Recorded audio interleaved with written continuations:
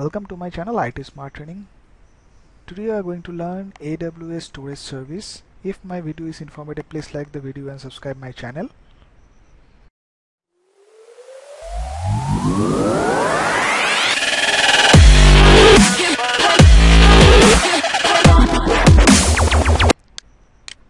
So let's start today's session AWS storage service so at first we have to know that the what is the AWS storage service and after that we have to know that uh, what kind of service are there. So one by one I just uh, briefly describe the what kind of service uh, storage service are available in AWS so first I have to we have to know that what is the difference between traditional storage versus the cloud storage. Firstly uh, with an emerged of the cloud computing, the dependency on the traditional physical storage devices has been reduces very fastly. Now, you do not need to however around the hard disks, flash drives and looks for the places to store them in a secure manner. In traditional storage, we store the data in the local computer or the storage servers connected with the computer using LAN or WAN.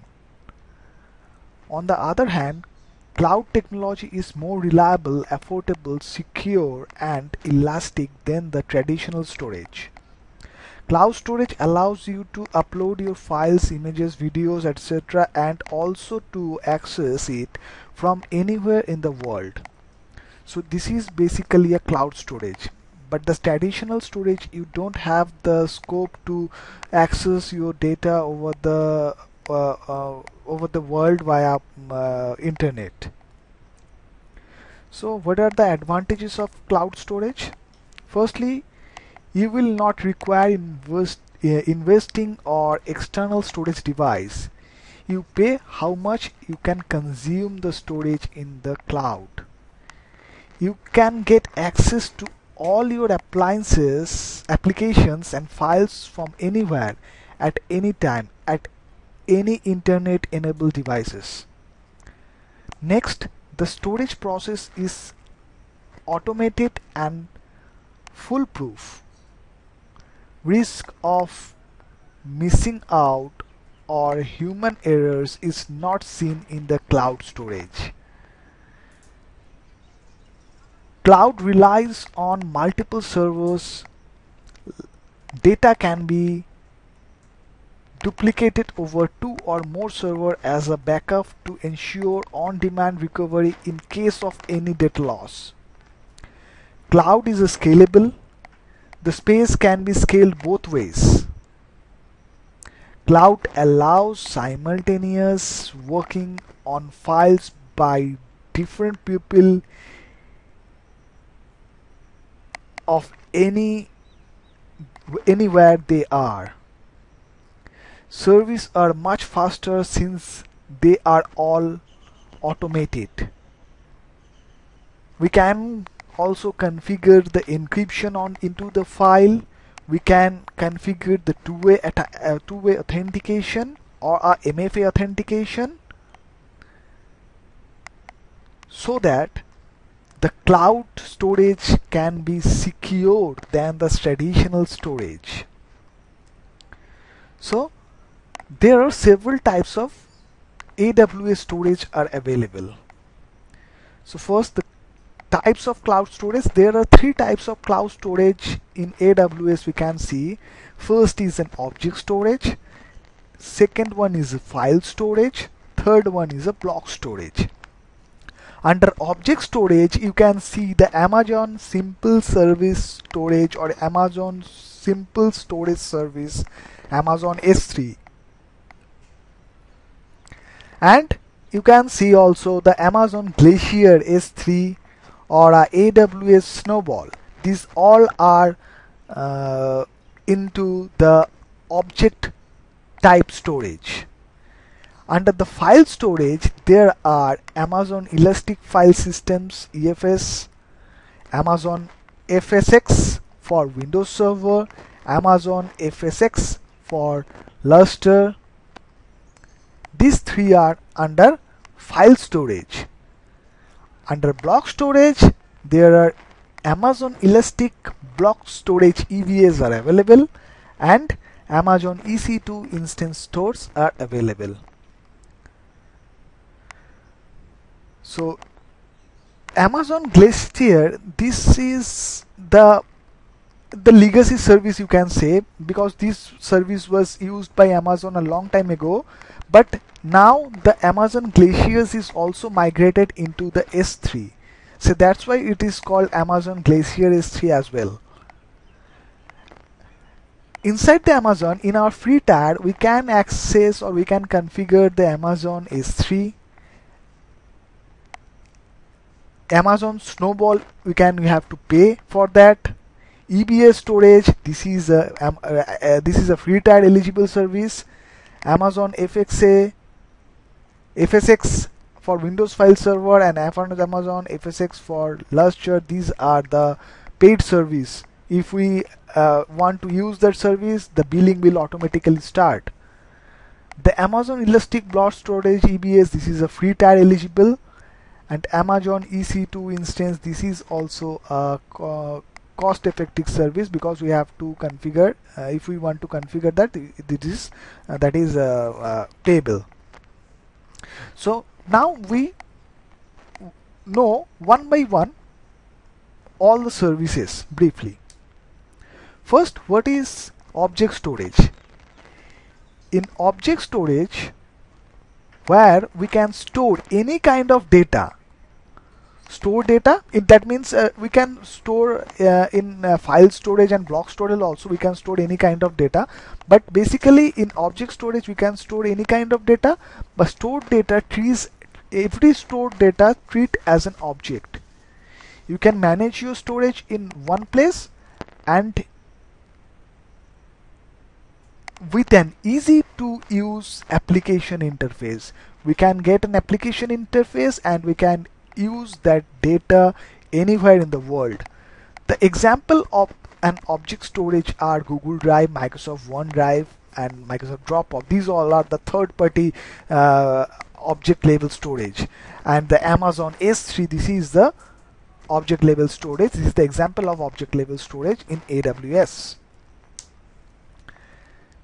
first the what is the Amazon simple storage service Amazon S3 so Amazon Simple Storage Service Amazon S3 is an object storage service that offer industry-leading scalability, data availability, security and performance.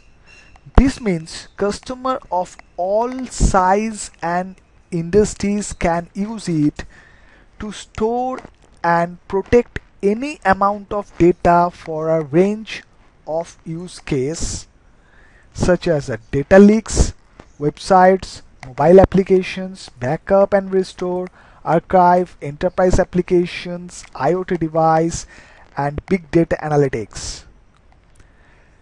And also I can say that this is a very cheap level, cheap service. All of the service we are Amazon uh, web server which we are using Amazon S3 are the very cheap Amazon S3 provide easy to use management features so you can organize your data and configure finely tuned access controls to meet your specific business, organizational and compliance requirements.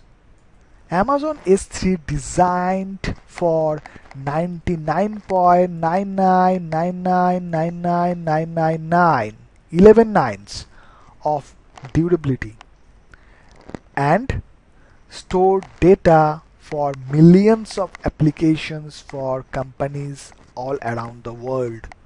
This is a very popular storage service. Next, what is the Amazon S3 Glacier? Amazon S3 Glacier is a secure, durable an extremely low cost Amazon S3 storage class and data archiving and long term backup. We can use it, it for long term backup. With S3 Glacier, customers can store their data cost effectively for months, years, even decades. S3 Glaciers enables customers to offload the administrative burdens of operating and scaling storage to AWS. So they don't have to worry about the capacity planning, hardware provisioning, data replications, hardware failure detections, and recovery, or time consuming hardware migrations. So we have a note that this service previously used by Amazon now it is included into S3 and it is called Amazon Glacier S3 you can say also this. This is then an Amazon Glacier S3 next AWS Snowball Snowball. So what is AWS Snowball? AWS Snowball is a petabyte scale of data transport solution that uses secure appliances to transfer large amount of data into and out of the AWS cloud. Using a snowball addresses common challenges with large-scale data transfers including high network cost, long transfer times and security concern. So basically Snowball is not a cloud service it is an external device. You can see a picture in your left hand side that is a snowball dev device which is provided by AWS if you want to migrate your physical data center into AWS cloud or you can transfer a petabytes of data into the AWS cloud. So you have to transfer large amounts of data over the WAN. It is not recommended because you may face huge amount of time to transfer that data as well as you may face data loss. So if you request or if you generate a request into AWS to do this they will send a device named Snowball where you can store your petabytes of data with some AWS guided process. After that, you have to inform AWS to collect that device and then the Amazon restore all these into their data center with some process. And the cost is basically on the device capacity, how much data you can store over here, as well as the time you can consume that device that all are the measurable thing to billing your AWS snowball. This is all about the AWS snowball. Next. Next we have to know that what is file storage. File storage is also called file level or a file based storage. Stores data in a hierarchical structure the data is saved in files and folders. Data can be accessed using the network file system NFS protocol using Unix and Linux or the server message block SMB protocol for Microsoft Windows. This is are the this is actually the file storage where the data are stored in hierarchical structure. In Amazon, the file level storage the first we can describe the EFS so we have to know that Amazon Elastic File System Storage. What is Amazon Elastic File System Storage?